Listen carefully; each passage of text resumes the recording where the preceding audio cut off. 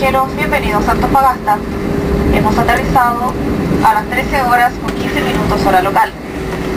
El requerimiento de la autoridad aeronáutica que permanezcan sentados hasta que el capitán haya apagado la señal de abrochar cinturones y el avión esté completamente detenido en su posición final. Los teléfonos celulares podrán ser utilizados a partir de este momento. Otros equipos electrónicos deben permanecer apagados.